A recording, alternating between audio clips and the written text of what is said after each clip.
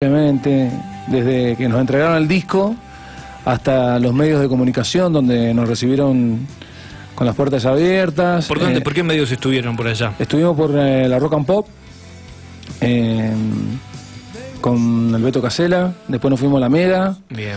En Radio La Mega la verdad que se portaron muy bien con nosotros. Ya está rotando vuelo.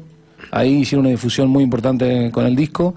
Y ya para eso una banda del interior del país eh, es algo impresionante. Eh, volver después de 7, 8 años y, y bueno, llegamos un jueves, estuvimos jueves, viernes haciendo todo lo que es promoción. Y en los diarios también importantes de allá.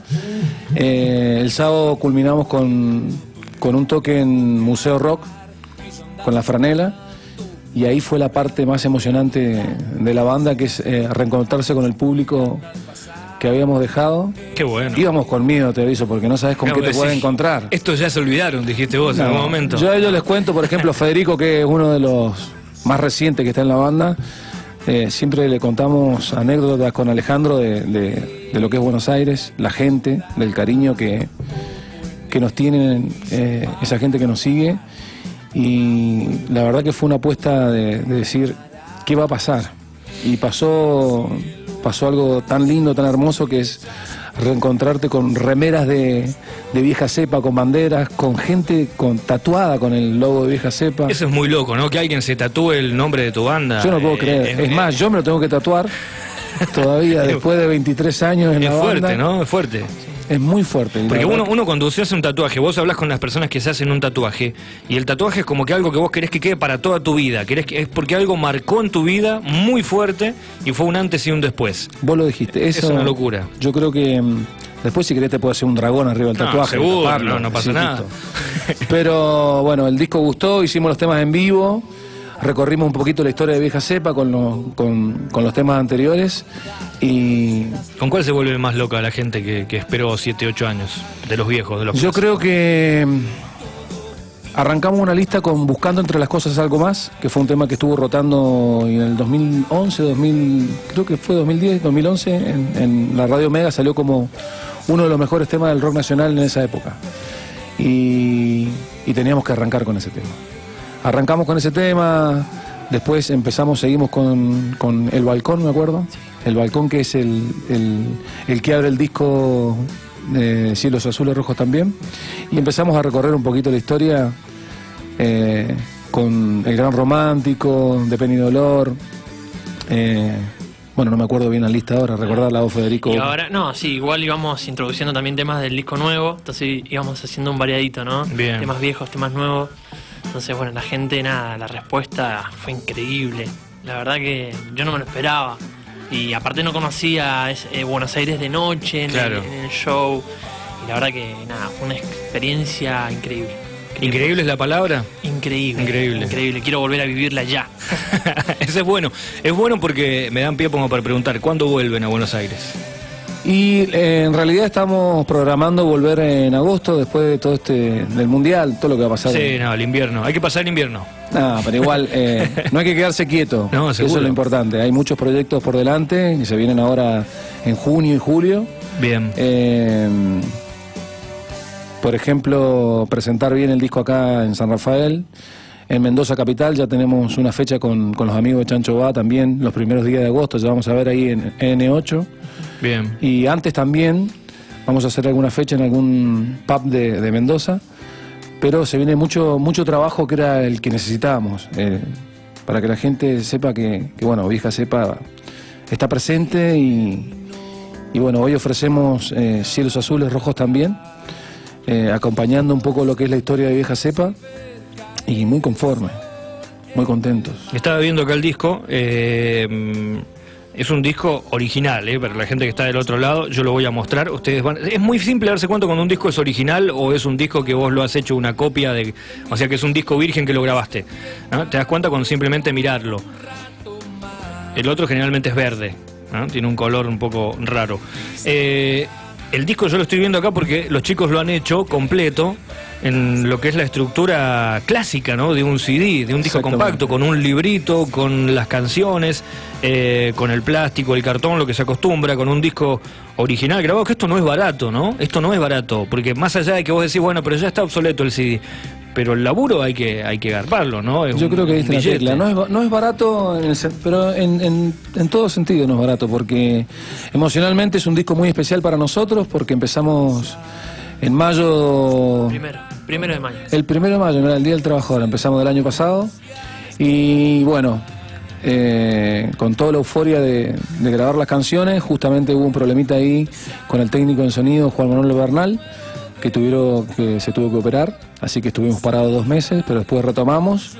Y creo que tuvimos la suerte de rodearnos de gente de muy buena leche que entendió el proyecto.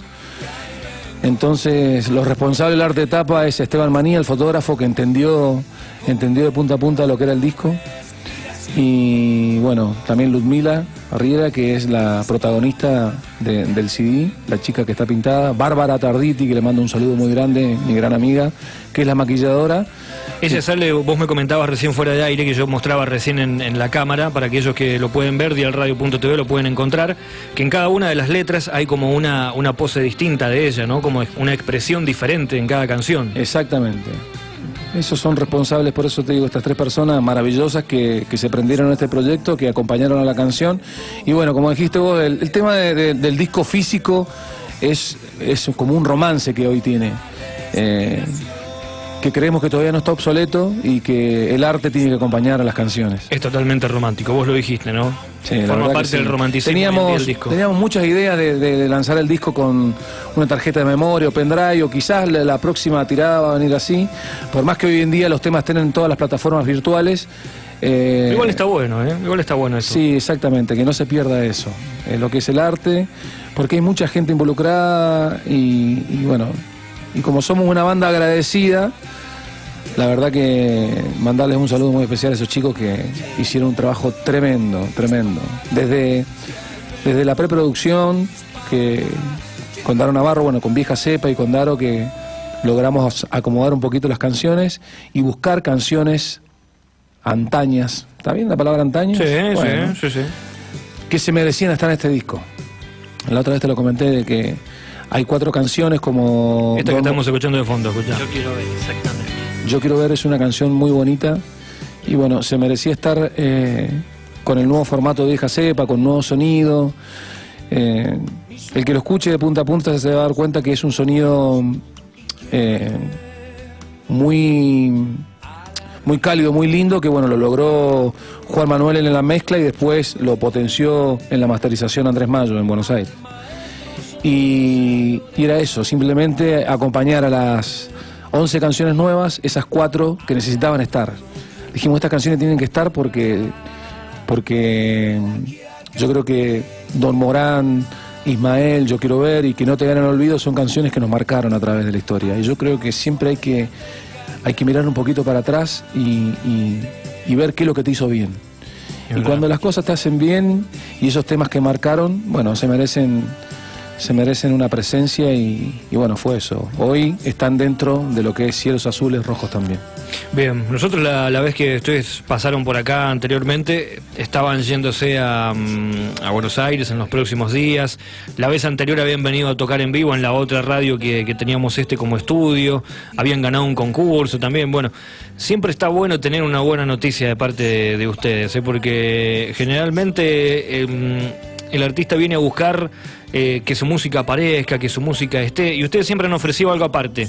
Ustedes vienen y directamente dicen, bueno muchacho, en realidad aparte de mi música te vengo a ofrecer, no sé, mi experiencia, lo que a mí me pasa, mi amistad, porque esto, esto va para la gente que en este momento nos está escuchando en 101.1 acá en San Rafael, 104.1 Alvear, saludos para los alvearenses que también conocen mucho de Vieja Cepa, por supuesto. Saludos especiales, Ma- obviamente. Malargüe que está en 103.9, también que están en plena nevada. Eh, la gente de Vieja Cepa, para el que los conoce, a los hermanos Iturbe, van mucho más allá de ser un grupo de rock que va y toca en un, grupo, en un lugar o va a la radio y busca promoción.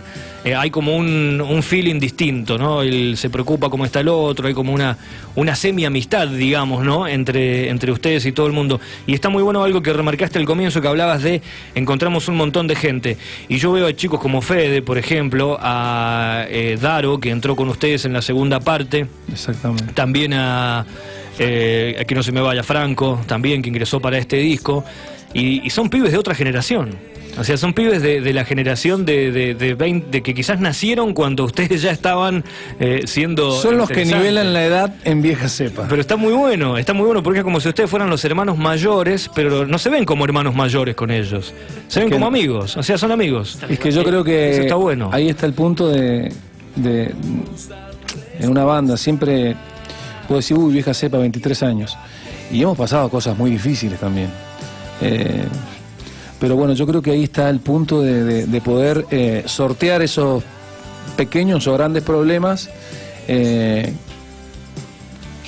rodeándote de gente de buena leche. Yo siempre hablo de esta forma. Y si la vida te da la posibilidad de estar arriba en un escenario con esa gente de buena leche, que cree en tu proyecto, y no es por decirte estar a la vanguardia, pero siempre estar hurgueteando eh, un poquito en lo, nuevo, en lo que se viene, en, no olvidarse de la música que nos dejaron los grandes en los 80, en los 90, que es la música que viví, y, bueno, poder eh, plasmarlo después arriba de un escenario, ejecutarlo con, con ellos es, maravilloso. Eh, por eso estamos muy conformes de, Cielos Azules Rojos también, que es un disco que, que es escuchable de punta a punta y bueno, le metimos alma, corazón y bolsillo. Está buenísimo. El tiempo, por eso te decía, empezó de mayo del año pasado y recién ahora podemos empezar a, difundirlo y, siempre decimos con, con los chicos que ustedes son el motor fundamental para llegar a a las personas, pero para llegar directamente, porque en una plataforma virtual es, es algo muy frío. Exacto. Te sirve un montón, porque apretás un botón y te están escuchando hoy en sí, pero ya te tiene que gustar, a lo mejor lo encontraste de casualidad o ya conocías a Vieja Exactamente, y, el interactuar así, y,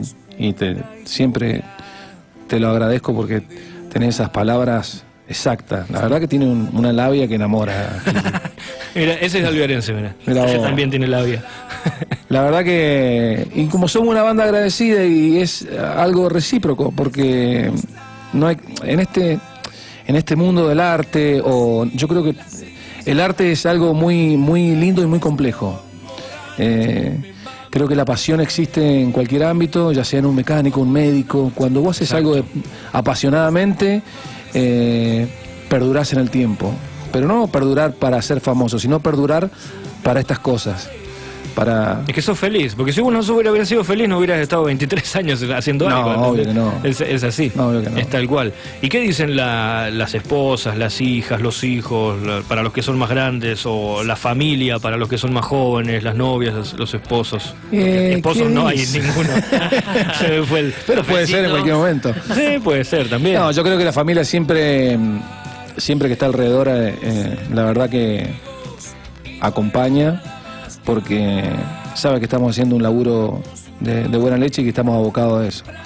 Y que simplemente eh, lo único que quiere cada uno es que la familia lo contenga y sea parte de eso. Tampoco hay que volverse egoísta y decir... Eh, la banda es lo único que importa y nada más. Claro, no, no, no, no, la banda no es lo único que importa porque lo que te hace, lo que te hace ser eh, y estar arriba de un escenario es tener gente que te, que te contenga abajo del escenario. Y aparte, una vez que te bajás eh, del escenario, tenés que seguir laburando, eh, como quien dice, psicológicamente el momento que estás viviendo. Y es bueno compartirlo eso. Es bueno darse, darse el lugar de, de, compartirlo y, y, ahí está la contención siempre de las familias, de las novias, de los hijos, y vos fue, vos fue de que, bueno, ellos, los hermanos Gaby y Ale, le mando un abrazo a Ale, también a Daro y, a Franco, eh, también para Juan Manuel Bernal, que, bueno, es una gran, gran importante parte de este disco y que tuvimos la oportunidad de ir a entrevistarlo con el programa anterior, en la radio anterior, en la 100, eh, en, una de las partes de la grabación, ¿no? Una, parte previa al inconveniente que él tuvo después, que gracias a Dios no fue un inconveniente, nunca más, y, y bueno, siguió la grabación del disco. ellos ya estuvieron en Buenos Aires, estuvieron, tuvieron esa experiencia y, y esa gente quizás ya la, la conocían o no de un poco, pero ya estaban acostumbrados a eso. Para vos que sos más joven, que has crecido con que Buenos Aires es la meca del rock y que allá es como que re, re importante. ¿Qué pasó? ¿Cómo, ¿Cómo fue ese momento? Contanos un poco. Y mira, ya nos encontramos con, bueno, con amigos de los chicos de, de antes, que nosotros nos conocíamos por el chat. Sí. Eh, por ejemplo, uno es Pablo Merengue, es una- un gran, gran amigo nuestro, eh, sobre todo de Gaby y de Ale, de toda la vida de antes, que es uno de los chicos que tiene tatuado el logo de vieja cepa en, en la pierna. En la pierna, qué bárbaro. Fanático, pero muy fanático. El loco cayó con campera, con remeras toda vieja cepa y no entendía nada. Y bueno, ahí nos abrazamos, viste, sin conocernos, porque más allá del chat. Y bueno, nada, ahí haciendo el aguante Pablo, entre otros, porque había también, también estaba Cookie, que es uno de los chicos que nos dio eh, su casa también. Eh, bueno, nada, fue muy linda experiencia. La gente, como te decía recién, eh, eh, reacciona de otra manera. También tiene que ver con, con el ritmo de vida que llevan en las grandes ciudades, ¿no? Porque vos decís, allá la gente consume, ¿no? Lo que es teatro, cine, consume Permanentemente, sí, es verdad. Muchísimo. Y un, un chico allá me, me explicaba que es por el tema del ritmo que llevan, ¿no? Está la gente Necesitas, loca. claro, necesitas distenderte de alguna manera. Entonces, claro, la gente va El y. cable a la- tierra. Exactamente, y lo vive de otra manera. En- en- por ejemplo, lo que es el rock se vive de otra manera. Eso es lo que yo sentí. Qué bárbaro. Bueno, muchachos, muchísimas gracias por acercarse, muchísimas gracias por los discos. Nos quedan un par eh, para regalar, así que enseguida vamos a empezar a anunciarlo a través de las redes sociales y me queda uno para mí. Este me lo llevo para la casa. Este lo- se, lo met- se lo meto al teléfono. eh. de alguna manera. No, yo siempre, eh, ahora que es recontra digital, pero siempre fue muy, muy respetuoso de los discos y siempre me los grababa. Por ejemplo, me compraba un disco, un enfermo mental, ¿no? Lo que hacía. No, me compraba el disco y me compraba un CD virgen y lo grababa. Entonces al original lo guardaba ahí y usaba el otro. Total, el otro si se rayaba, se caía, si algún delirado se lo quería llevar a su casa, listo, chau, te lo presto. Bueno, sin ningún ¿sabes lo que, me, problema. pa- lo que me pasa a mí con 23 años y este es el quinto disco? Bueno, este es el único que puedo decir lo tengo. Sí. No tengo ningún disco mío anterior. Es muy buena esa. No tengo ninguno. Es muy buena. O sea, Es en más, casa hago un pedido a, la- a ver si alguien tiene algún disco mío por ahí dando vueltas, se lo compro. Qué bárbaro. No lo tengo. Lo único, la único que tiene la colección, que creo, es muy Camila, mi hija, que también los guardó y... Pero menos mal que está Camilo, o sea, si no, no, no. Imagínate, no, no hay registro, no, me papá- creen el día de mañana, qué sé yo, mis papá nietos todos no- van a creer. El nieto, imagínate, abuelo, ¿qué me vas a dejar de vieja cepa? No tengo ni No un disco. nada. es una locura eso. Los colmos. Y bueno, Nada. pero co- y este comprate otro. Sí, la verdad, me voy a tener que comprar uno. Comprátelo, cosa que digas, mira, este me lo- ya lo vi, gasté para hacerlo, ahora me lo compro de nuevo, entonces ese lo escondes. Y ya está. Bueno, bueno, muchísimas gracias, Kili, por, Kili, gracias. por, por siempre estar. No, Siempre, gracias a ustedes, muchachos. Hace años que nos venís, eh, eh, sí, realmente dando una mano y eso, eso, digamos, es muy difícil encontrar en las personas. El contacto y todo eso lo que hablamos recién, eh, lejos de todo chiste y todo eso, hay como ese, ese cariño fundamental que necesi- necesitamos porque... eh, como Lo que, sí les debo, lo que sí les debo una ida a ver, aunque a mí se me complica todo, pero algún día los, te- los tengo que ir a ver. ¿Y pero por qué se te complica contando? Eh, los fines de semana los tengo bastante ocupados en otras áreas. ¿Mm? Nosotros también estamos re complicados y sin embargo nos subimos al escenario y siempre te esperamos, Kili. bueno, pero voy a estar, voy a estar. Eh, Sí, dentro de poco van a salir las fechas. Empezamos a difundir acá en San Rafael. Y bueno, después se viene Mendoza, se viene la difusión de Chile la semana que viene. Bien. Así que se viene una gira a Chile pronto. Pero por el momento, eh, julio, agosto va a ser eh, Mendoza, Buenos Aires. Y bueno, y lo que podamos hacer acá dentro de los meses. Y se viene eh, algo muy lindo para la banda y muy esperado, que lo voy a anunciar, ya está. Se viene lo- lo- o no, si quieres no lo digas nada. no, lo voy a decir. Chan, chan.